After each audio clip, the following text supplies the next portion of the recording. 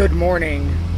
7:59 a.m. Eastern Standard Time on this Tuesday, October 1st, 2024. I'm XRP Future Millionaire, and I reside in the great state of Michigan. So, as we can see with XRP here this morning, we've got XRP up 2.83%. The biggest issue we have right now is we're kind of within no man's land.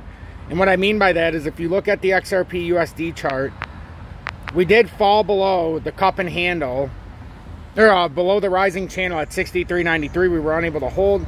Last night we speculated that if we continued to fall down, we'd come down to that 59.96. But we had a chance still, as we talked about how when it came down here, there'd be one more liquidation event before it came all the way down if that was the plan. We came up to 63.50 overnight failed to get back above 63.93, which would put you back on top of the rising channel area, which we're trying to make a support so that we could open up the door to 88.5 cents. As you can see, that 59.9 cents, the area of support we very well could fall down to here. We've got, mm, what is this, 59.96, but that's on the falling channel or I mean on the um, cup and handle and the falling channel resistance that's now support at 59.96. That resistance at 63.93 is big because that's the rising channel. And if we can get on top of that, we'd be able to open up the door to a move likely to 88 cents. And then if we look at the most current, we held 62.9 cents. Right now, that candle in the daily is a bearish candle. That's a bearish candle. If it and we've got 12 hours left, I fear that it's going to roll right back over. So if you see a breach of 62 cents, know that we're more than likely going to 59.9. That candle right there, though, is a gravestone doji. That's a, typically that could be used as a fake out, and then it ends up rolling back over. So we have to be very, very cautious of that candle right there. That's actually a bearish doji candle. That's a gravestone doji at that. So we're going to have to be very, very aware and very, very cautious and uh, the moment it breaks down, if it does, if we come below 62 cents, it's a huge problem. Because then that little M topping reversal, now it's at 618. So we've got 61.8 cents. And then below that, we've got 59.9 if we were to break down. And this is a major, major pattern that's been intact since 2023 in around July. So this pattern does take a little precedent here and if we could break out of this, the technical target of this particular consolidation um, is all the way up at 95.8 cents. This actually pulls back here. You can actually come all the way back into here to start this from the resistance, but I didn't. I did the support down here from August of 23. So that's what it looks like. And then if we could hold this and we could actually break out, we'd be looking at a move all the way up to 95.8 cents potentially. We know that rising channel is up at 88 cents. So those are the areas that we would have to look at here. So that's what I'm looking at. That's what I'm paying attention to. And that's the way I'm going to start to look at these charts. So I don't even remember if I did an intro this morning.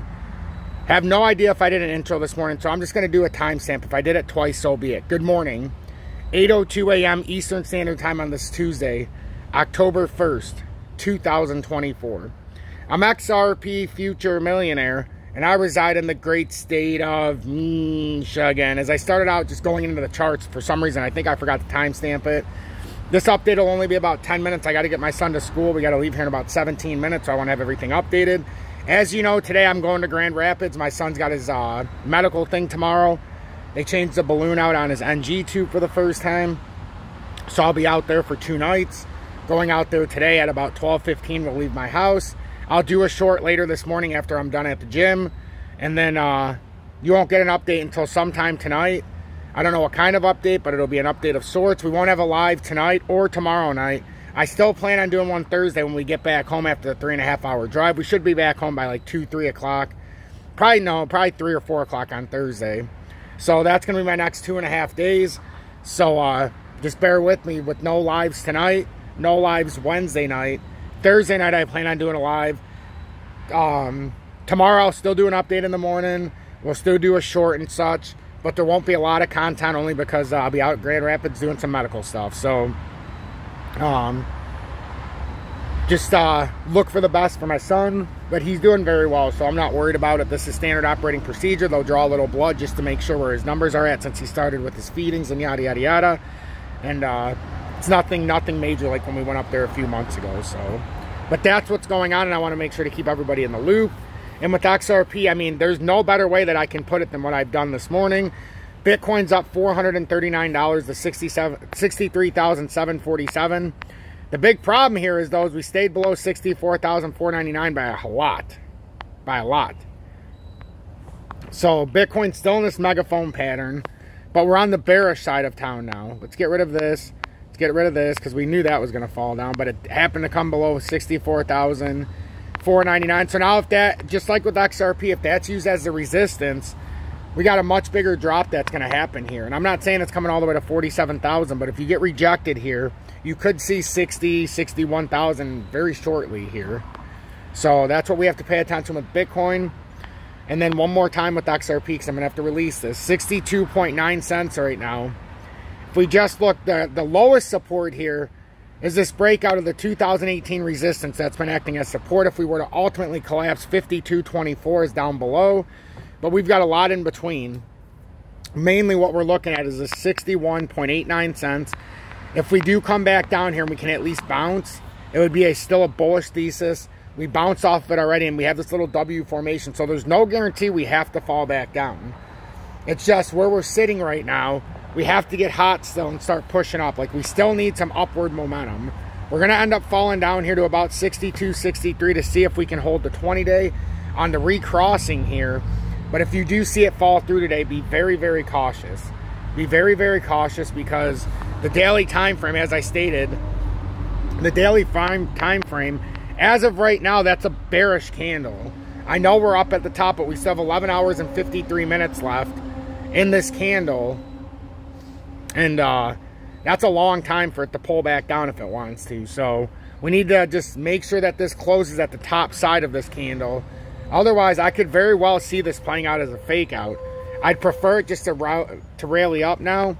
Four hourly, we can see it at least held midway, but it's a wick pullback, so we'll see if there's further downside here on this uh, Tuesday morning on the first day of October.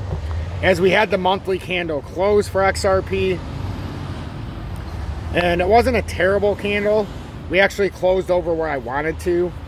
So we'll see if this can perpetrate something in the months going forward and how far we can uh, push ourselves out here.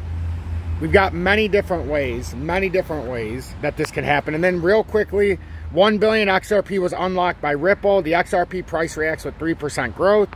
Ripple, the San Francisco-based crypto payment provider, has released another 1 billion XRP tokens from its escrow account.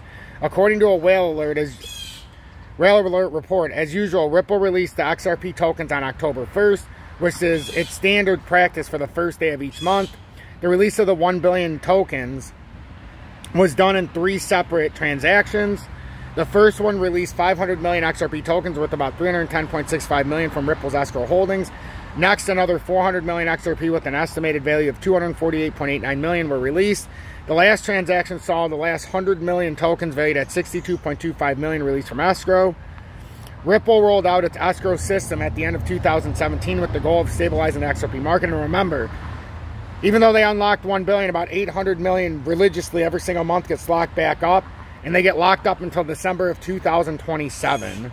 They said April 2027, the release is expected. That's not correct. It's December of 2027. But whatever, at least they said 27. Ripple rolled out its escrow system at the end of 2017 with the goal of stabilizing the XRP market.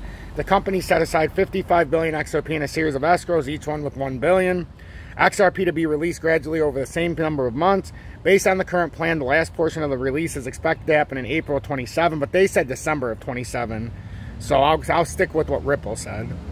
Um, so the price outlook in response to this, the price of the XRP token shot up by about 3% in just a couple of hours. As a result, the price bounced back above a crucial dynamic resistance level that stretches from 2023 XRP to USD by CoinMarketCap.